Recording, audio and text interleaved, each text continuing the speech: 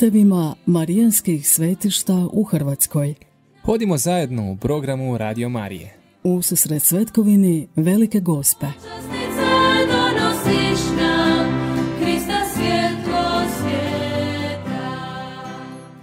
Savo vodo, graničarska diko, kraj tebe sam od djetinstva niko.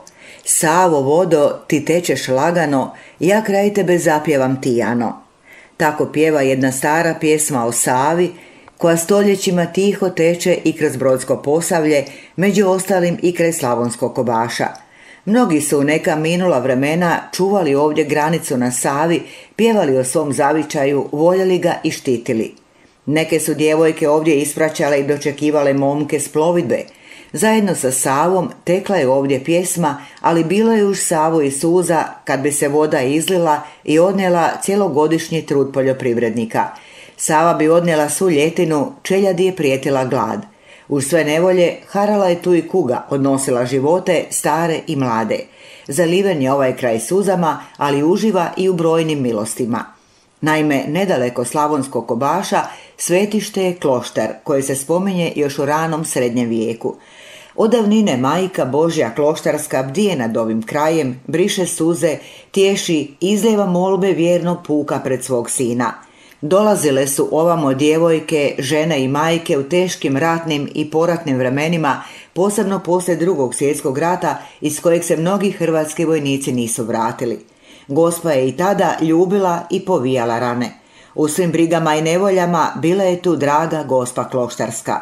Posebno svečano ovdje je svake godine pred blagdan Velike gospe.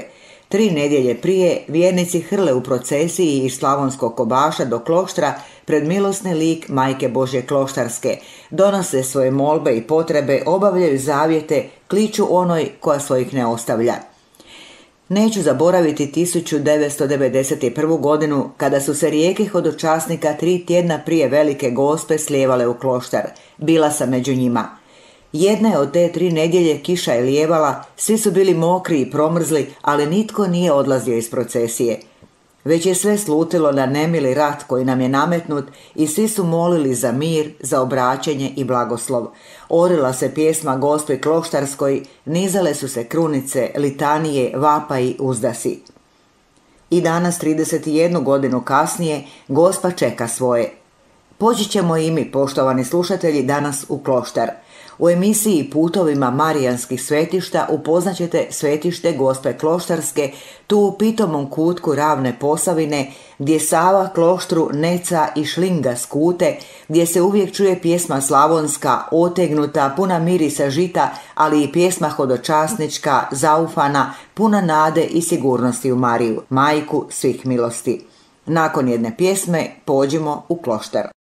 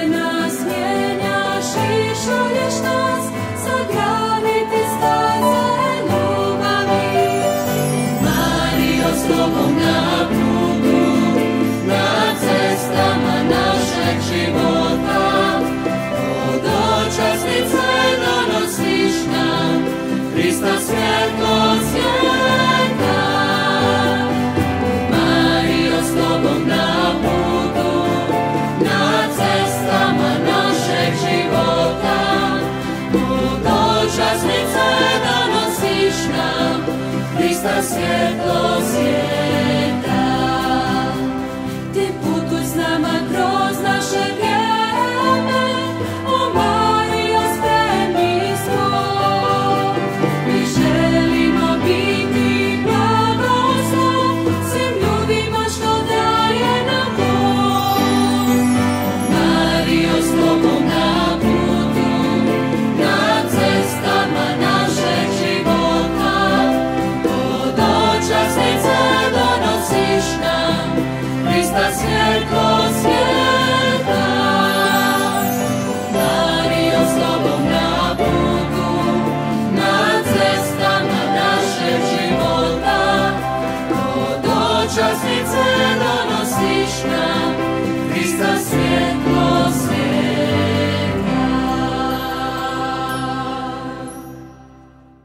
Proštenište Majke Božje u kloštru na domak Slavonskog kobaša najstarije je Marijansko hodočasničko svetište na prostorima Požeške biskupije. Na samoj lijevoj obali rijeke Orljave, blizu njezina utoka u Savu, na pola puta između Slavonskog kobaša i Lužana, nalazi se starodrevna crkva Majke Božje u narodu poznata pod imenom Kloštar – Svetište je izniklo na mjestu drevne templarske crkvice i samostana u koje su kult štovanja gospe donijeli još cisterciti u 13. stoljeću i to iz Kutjeva izgradivši crkvu upravo u kloštru. U gotičkom stilu crkvu i samostan ubrzo podižu i Franjevci, a o dugoj povijesnoj baštini toga duhovnog prostora svjedoči potpuno očuvano, autentično, poligonalno svetište iz toga doba. Nakon protjerivanja Osmanlija počinje snažno čašćenje gospe kloštarske, a uz blagdan Velike gospe 14. i 15. kolovoza to svetište svake godine pohodi više od 10.000 vjernika. Požeški biskup Monsignor dr. Antoš Kvorčević redovito dolazi u svetište u predvečere Velike gospe i predvodi euharistijsko slavlje za brojne hodočasnike iz cijele Slavonije i šire – Vjernik Puk Boži ispovjeda se, sudjeluje na svetoj misi, a potom u zavjetnoj procesiji slikom gospe kloštarske. Crkva je tražila temeljitu obnovu, ali i povijesno umjetničku valorizaciju, pa se toga zahtjevnog i složenog posla prihvatio nekadašnji župnik Monsignor Mio Dukić.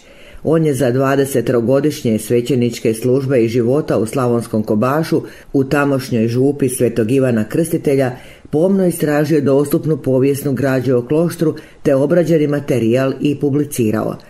Glavni akcent u prezentaciji crkve i svetišta stavljen je na monumentalni triumfalni luk koji predstavlja kasno gotički element jedinstvene ljepote u širem prostornom kontekstu istočne Hrvatske. Kako je građevina barokizirana, a krajem 18. stoljeća dograđeno predvorje, mnogi su gotički arhitektonski elementi bili zatvoreni – Uz triumfalni luk to su prije svega vrijedna sedilija i kustodija koje su sada također prezentirane javnosti. Predvorje je prilagođeno liturgijskim potrebama samog svetišta, a zvonik koji je 1951. godine za komunističkog režima srušen, rekonstruiran je u izvornim gabaritima. U crku su nakon restauracije vraćene dvije oltarne pale – Riječ je o slici uznesenja Marijina iz 1872. godine, čiji je autor poznati onovremeni umjetnik Anton Keller. Druga slika također prikazuje Marijino krunjenje, ali je ime autora još uvijek nepoznato. Posebnu vrijednost predstavlja i slika oprizorenja procesije u kloštarskom prošteništu, koja oslike ima i na poleđini platna. To su likovi svetog Sebastijana i svetog Roka, kojima su se vjernici u prošlosti utjecali radi zaštite od kuge i bolesti. Zavjetna je to slika iz 1764. godine koju vjernički puk i danas nosi u procesiji moleći zagovor Majke Božje Kloštarske u raznim životnim potrebama.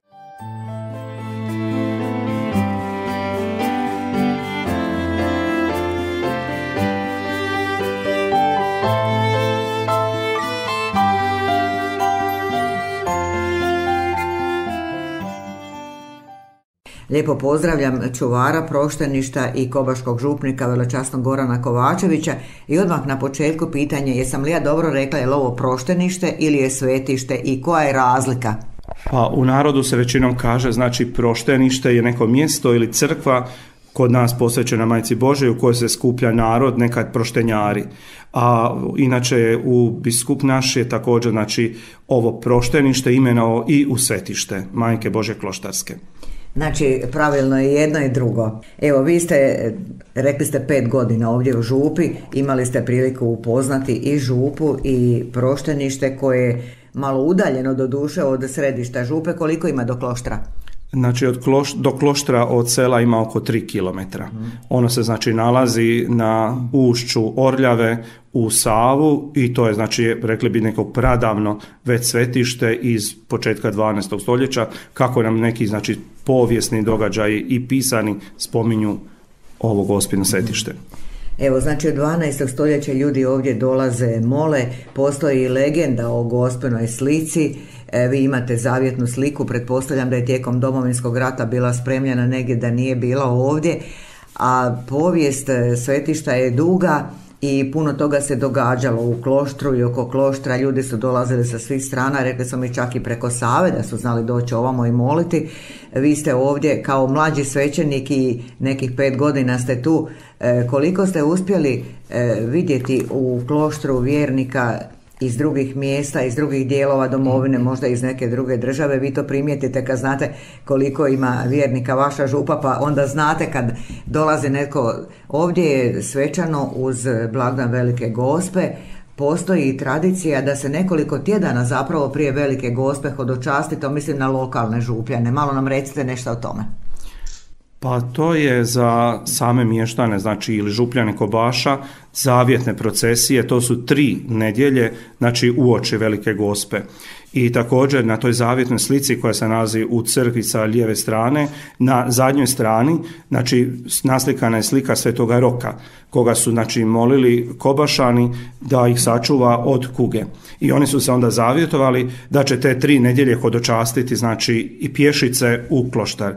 I to mi je evo jako zanimljivo zato što znači u dva sata narod se skupi u župnoj crkvi, znači gdje se izmoli molitva, dobije blagoslov i onda oni uz pjesmu i molitvu kreću prema kloštru.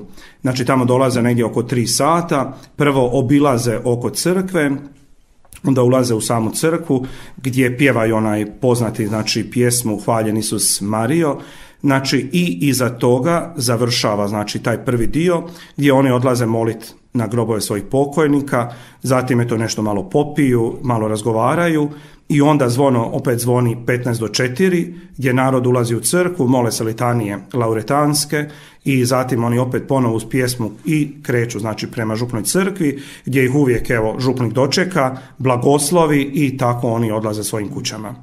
Tako je tri tjedna pred veliku gospu, uoči velike gospe je tradicionalno od davnine misa u kloštru, isto dolaze ljudi sa svih strana, puno ranije počinje ispovjede, evo možete malo i o tome nešto reći. Pa uoči Velike gospeda narod se polako već okuplja negdje od 5 sati, ali tada nam i svećenici dolaze ispovijedati, kojih uistinu evo bude uoči Velike gospe jako puno. E, prije same znači svete mise koja je sad redovno u 19 sati i evo već dugi niz godina predvodi je naš požeški biskup Anton Škvorčević znači e, imamo program znači prigodni uz krunicu marijanske pjesme ili neke druge zazive kojima evo tradicionalno se pjevaju u Kobašu. Znam ono zvono opet zvone, dolazimo mi, majci Bože, kloštarskoj da nas utješi. Evo, to su ti lokalni zazivi sačuvani u puku kroz minula stoljeća. E, recite, e, vi ste iz Požeškog kraja, kako ste se snašli ovdje i koliko vam znači ovo proštanište tu ovako blizu o kojem vi sad vodite brigu? Da, ja sam rodom iz Župe e, Jakšić i nisam do duše kao mali, a čak i bogoslov ni znao za ovo svetište. Te kasnije, kažemo, evo prilikom kako smo znači išli od župe do župe, znači čuo sam za kloštar, a onda posebno evo kad sam došao ovdje, nekako me to vezalo, tako da sam evo više puta, kažem i skroz, evo s narodom, rado evo idemo tamo slaviti svete mise, hodočastiti, moliti. Isto tako je prošle godine prvi put smo znači u povijesti, znači kloštra imali u svibnju svake nedjelje popodne u 5 sati krunicu gdje narod posebno evo voli dolaziti i uvijek dolazi svojoj gospi. E, vjerojatno ste pričali sa starijim župljanima je li se nekad išlo ispred župne crkve na blagoslov polja, ovamo prema kloštu, je li bilo još neka dokupljanja osim za veliku gospu? Pa za blagoslov polja onda prosni dan i uoči spasova, da narod je išao iz župne crkve, neobično nekad na tri kraja sela a za sam znači blagdan većinom i velike gospe mi imamo također znači još sve te mise koje se u kloštu drže. Znači to je na blagovijest na drugi dan uskrsa na duhovski ponedjeljak na dušni dan. To su većinom evo mise koje se tamo služe. I vjernici dolaze, nije to daleko, evo rekli ste tri kilometra, ali to je uhodano da tako kažemo narodu, narod voli tamo doći od davnine, to je ipak nešto onako gospodo nogu drugačije da, da, narod znači rado evo dolazi i iz Kobaša, ali mnogi evo i Kobašani ako su slobodni da ne rade, pogotovo iz Slavonskog broda, netko dođe iz Zagreba, isto tako da evo sudjeluju ili ostaju i taj drugi dan, a ovo prije da narod je prije domovinskog rata dosta dolazio i iz Bosne, pogotovo dok je ovdje bila kompa preko Save i pontonski most. Ja kažem, evo imao sam par puta prilike isto ili prije mise ili za mise, znači isto e, sresti ljude ili pitati odakle ste, pa onda ne znam, jedni su mi rekli kaže živimo u Slavonskom brodu, ali smo evo kao mali ili dok su bili mladi, znači dolazili, pa smo sad čuli da je ovdje sveta misa, pa smo evo došli ponovno, kaže vidjeti kako to izgleda i ovaj naravno pomoliti se Majci Bože Kloštarskoj.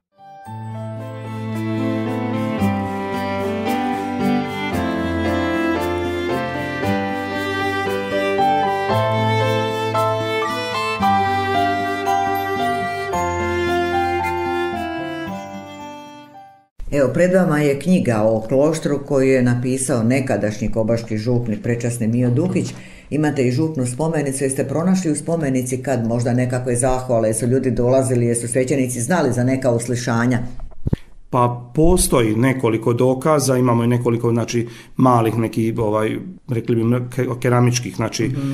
uspomena ili već zavjetni znači molitve, ali nisu znači posebno mhm. nisu slagane, stavljane. Nije posebno, ali evo kad neko donese nekakav dar ako znak zahvalnosti, to je to, znači to je uslišanje. E, postoji u crkvi u kloštru i kip gospe i zavjetna slika. Kip je tamo stalo na oltaru, jel tako, a zavjetna slika se izlaže pred veliku gostu, pretpostavljam. E, da, zavjetna slika je kad se uđe u crku sa lijeve strane na svom postolju i ona je najstarija, znači ovdje u svetištu, koja je nekad bila i glavna, a onda kasnije kako se crkva obnavljala ili prilagođavala vremenu, dat je napraviti taj tirolski kip, znači Majke Božje mm. kloštarske, koji sad stoji na glavnom oltaru i oko kojega zapravo ljudi na sam dan ili obilaze znači oko njega, a slika se nosi uvijek na večer u oči gospe u procesiji. Evo, jedan dio crkve je zapravo svetišni prostor je od davnine, kažu iz 12. stoljeća, ovo kasnije nadograđivano kako je vrijeme zahtijevalo. e, i kloštar je u groblju. E, nekako je to prilika ljudima i da u tim danima kad se molimo gospi obiđu i svoje pokojnike pa na nekakav način je to poveznica svih oni koji su nekad dolazili u kloštar više nisu živi s ovima koji dođu iako je to malo nezgodno možda kraj grobova hodati, ali evo, opet je to nekakva veza između svih tih tisuća hodočasnika iz davnine do naših dana.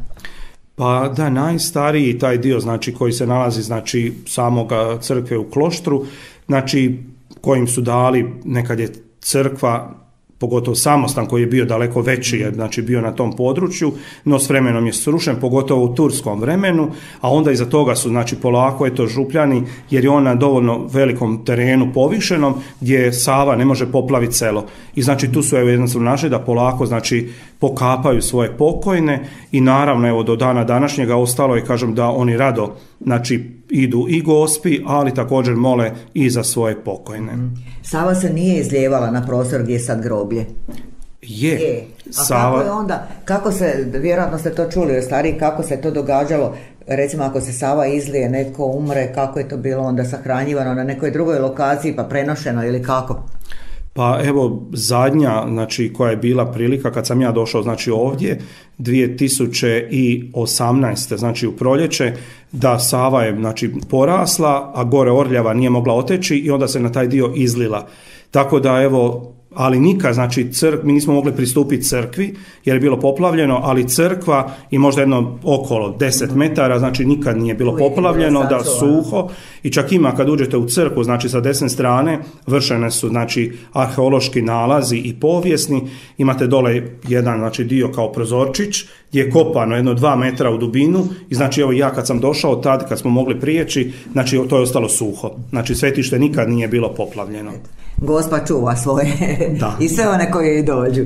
Ali imate li informacije i prolazite automobilom vjerojatno, bude li nekad preko tjedna radnim danom kad naiđete, dođu li ljudi ovako sami moliti, možda netko osjeća potrebu doći tamo kad nikog nema, vam se netko javio? E, dolaze ljudi, znači pogotovo znam, moji župljani, znači iz Kobaša, nedjeljom, nekim blagdanima, kad nekog imaju možda evo spomenicu, znači za pokojne, a onda naj što je nekako zgodnije i ljepše što je ostalo, znači crkva je bila obnavljana, pa su stara vrata, znači vraćena na nje, prije vamo, znači na mjesto i druga dva nova vrata su napravljena. A na tim starim vratima znači ostala je stara ključanica kroz koju znači narod kad pogleda unutra točno vidi gospu na sredini gore na oltaru i onda evo potom znam da su oni kaže isto često puta dolazili, a onda ljudi sa strane kad dođu onda ako neko se javi i nazove kaže bili smo na kloštru vidjeli smo gospu kroz ključanicu. Evo, zgodno. zgodno je, da, ostalo kažem što oni pamte. Da. Evo, mi vidimo kad bude misa pred veliku gospu, onda se uredi takozvani vanjski oltar, okrenut narodu koji stoji oko tih grobova, postoji li možda nekako planiranje, možda u neko dogledno vrijeme proširiti to, možda na onaj neki dio tamo gdje je sad ledina, gdje ljudi također mogu stajati tu. E, to je vjerojatno još iz vremena kad je tu bio samostan ostao taj čisti prostor, tamo su bile i neke staje ili šupe, ne znam šta je to. Jel planirate možda nešto s tim u dogledno vrijeme? Pa bilo je znači planirano i prije kod prijašnjih župnika da bi se možda nešto izmjestilo i drugačije napravilo, ali evo nekako uvijek dođe velika gospa i mi iznesemo, kažem, taj oltar van, napravimo ga, uredimo, ali narod je već nekako naučio, znači da sjedi na tim grobovima, da je tu neki mir, tišina, kažem da posebno da prate na tom vanjskom prostoru i svetu misu, a isto i domaći ljudi prije toga dolaze, kažem, i čiste i svoje grobove, čiste i naravno sad spomenike, pogotovo mramorne i nikada evo nema nikakvih problema kad svije dolazi, iako se nešto ugazi i zaprlja, pogotovo ako sjede znači, na tim tuđim spomenicima, rekli bi, znači svi zajedno slavimo znači, svetu misu i naravno tražimo zagovor Majke Bože Kloštarske. Evo, mi razgovaramo kod vas u Župnom dvoru, vidimo ovdje dosta ručnog rada, e, tradicije, vrijednosti, a i u kloštru, evo, imam prilike svake godine doći u oči velike gospe, vidim kako prekrasno uredite tamo isto uz ručne radove, ponjave, peškire, uredite ne samo sliku, nego i vanjski oltar i sve okolo. Vjerojatno i Župna crkva ima puno toga sačuvanog, jer Slavonski Kobaš je mjesto tradicije.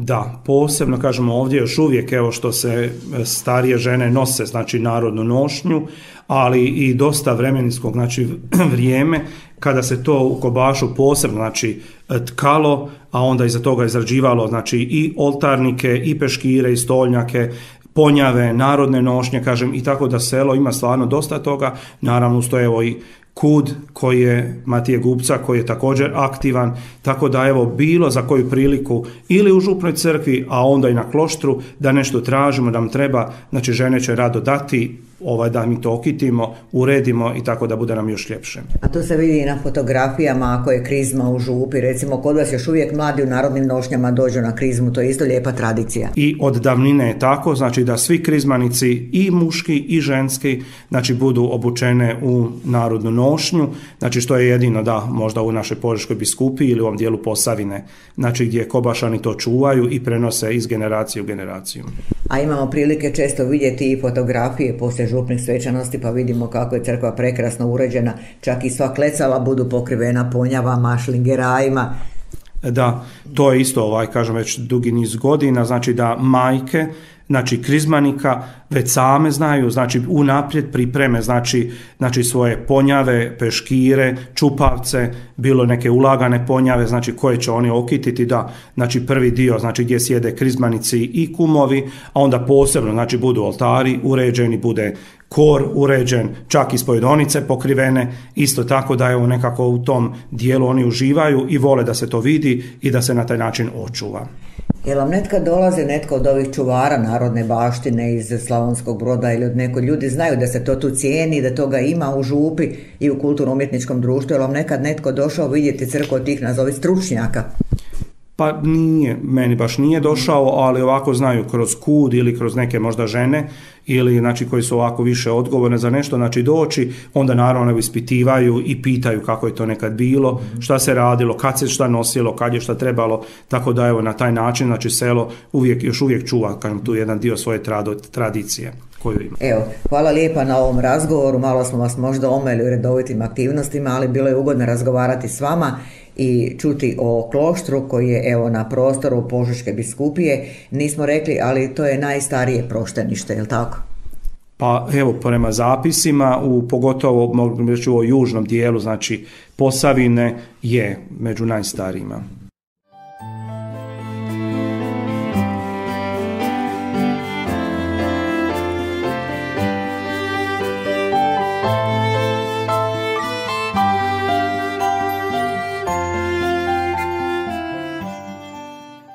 Od uspostave Požeške biskupije od 1997. godine proštenište Majke Božje u kloštru kao i župa Kobaš pripadaju Požeškoj biskupiji. Od tada svake godine prvi požeški biskup Monsignor dr. Anton Škvorčević predvodi misu u kloštru dan uoči Velike Gospe Ovamo je on iz rodnog Davora dolazio gospi sa svojim vršnjacima davno u svom djetinstvu, vozeći se biciklom ili čamcem. Inače, kloštar je, već je negdje rečeno, jedno od najstarijih prošteništa Majke Bože u Požeškoj biskupiji i Dragulj na njenoj južnoj granici. Raspored pobožnosti i njihov sadržaj odabrali su sami hodočasnici. Tu su molitva osobna i zajednička, ispovjed, procesija, post, slavljenje mise i sveta pričest. U kloštru se učvršćuje vjera u Boga, traži i dobiva zaštita nebeske majke, gospe kloštarske, vjernici se ispovjedaju na groblju. Prisutni simboli smrti, križevi i nadgrobni spomenici potiču pokornike na razmišljanje o potrebi čišćenja duše kroz pokoru. Ovdje se događaju duhovni preporodi. Duše se oslobađaju tereta grijeha, dobiva se snaga za podnošenje životnih teškoća, stječe se novi polet za osmišljeniji život.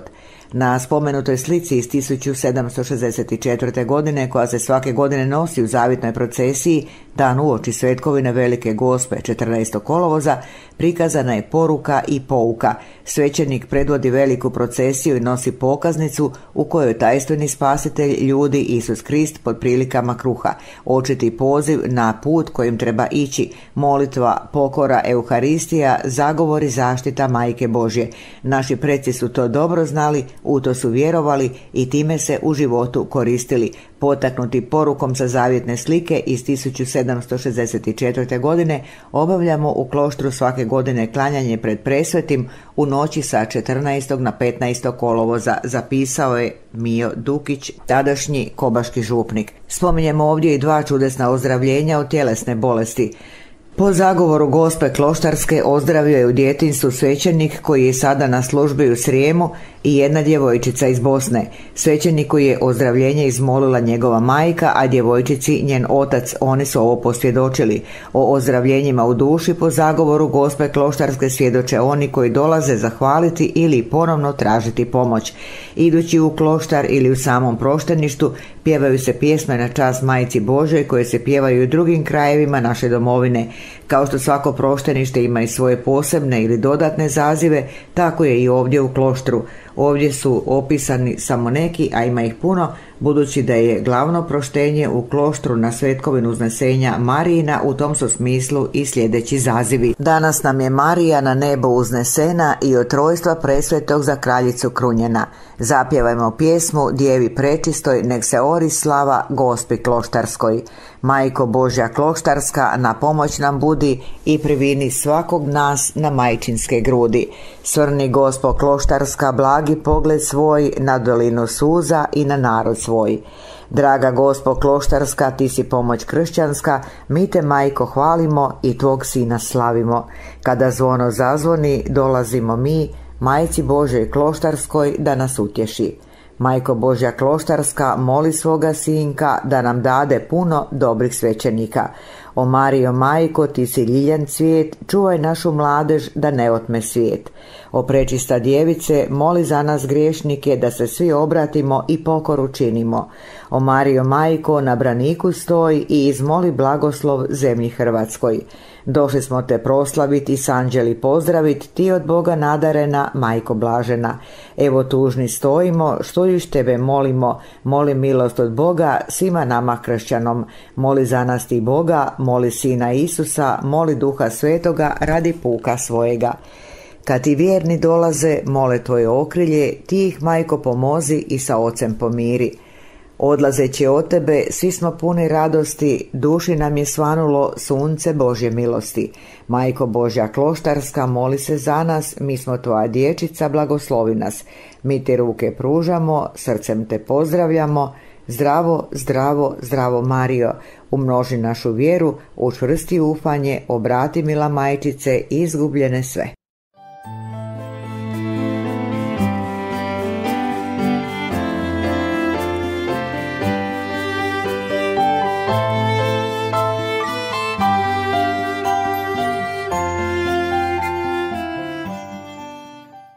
Dr. Josip Jagodar rodom iz Slavonskog Kobaša i profesorica doktorica Emina Berbić-Kolar napisali su veoma vrijednu knjigu Kultura pamćenja Slavonskog Kobaša u povijesno jezičnom kontekstu.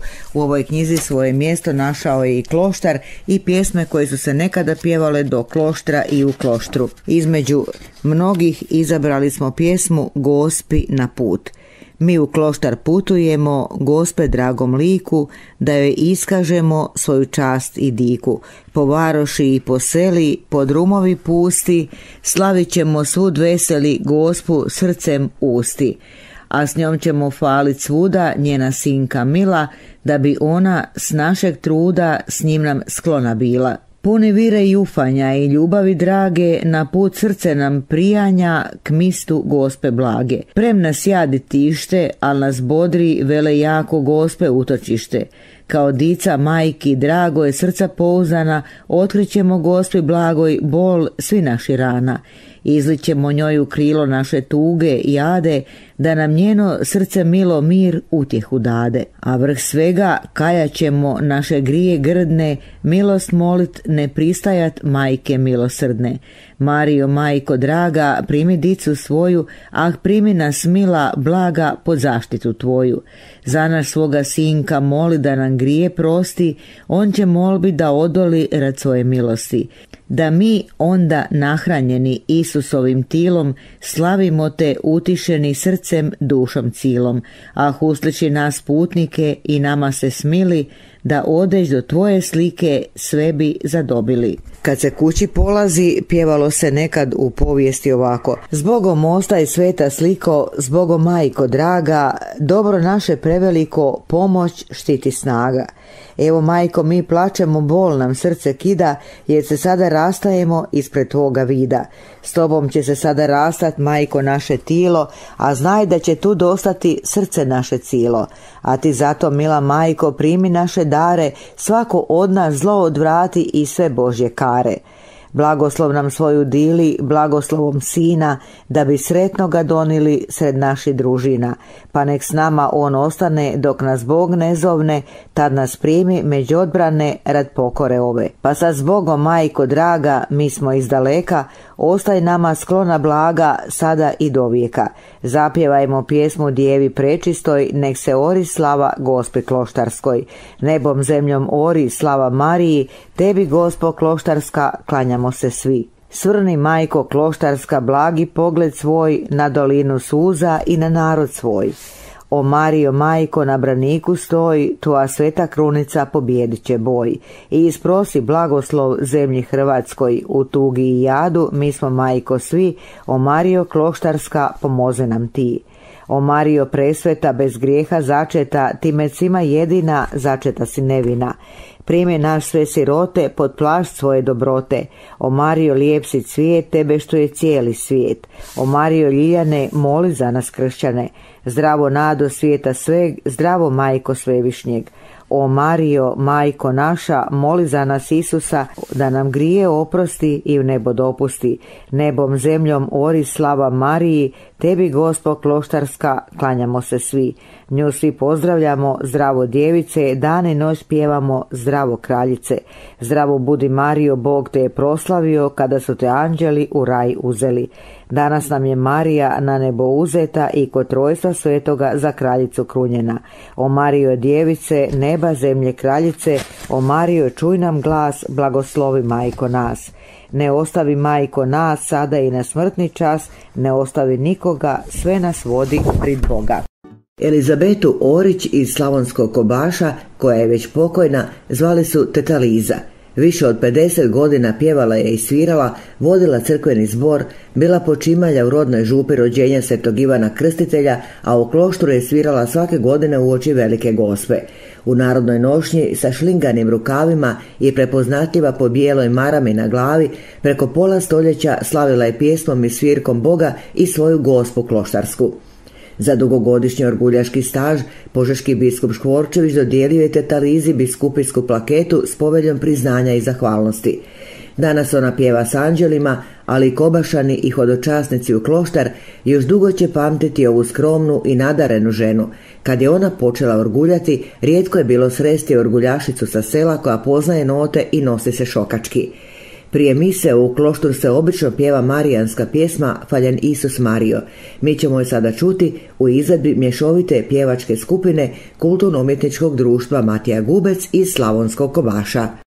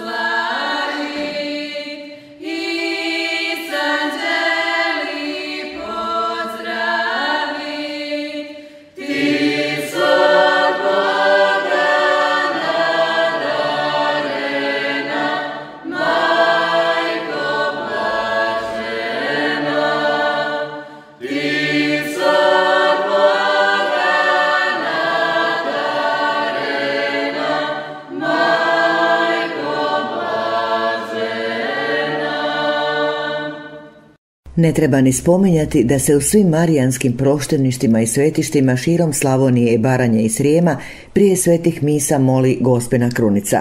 U nekim mjestima do danas su se sačuvali stihovi na završetku krunice, svršili smo krunicu, okrunili djevicu, opre blaga djevice, evo tvijenac ružice, primi majko ružicu, okruni nam dušicu, za koju je sinak tvoj položio život svoj i podnio teške muke na drvetu križa.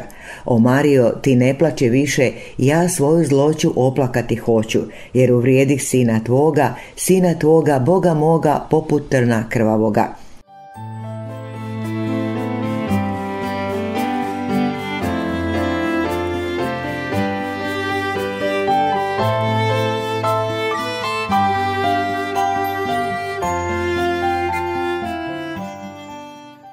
Zdravo, budi Mario, puna jesi milosti, utočište sviju nas, majko milosrdnosti. Tebe puk tvoj zaziva, od sveg srca te piva. Zdravo majko kloštarska, ti si pomoć kršćanska. O Mario premila da imamo svi krila, da poput golubice poletimo svi tebi. O presveta djevice da možemo svi doći pred milosne ti oči. O Mario kloštarska ti si pomoć kršćanska, ti si majko odabrala ovo misto kriposti da u njemu čudesa izviru sve milosti da poznade tko odi i koji te pogodi, dragu majku kloštarsku, pomoćnicu kršćansku.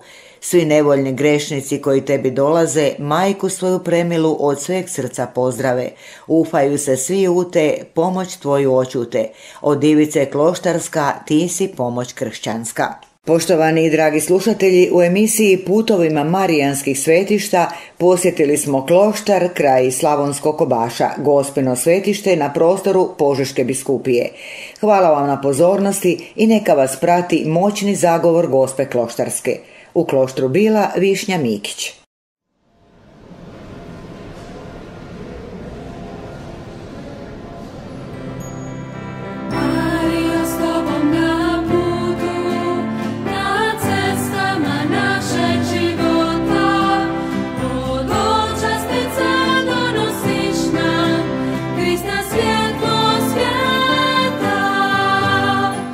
Putevima marijanskih svetišta u Hrvatskoj.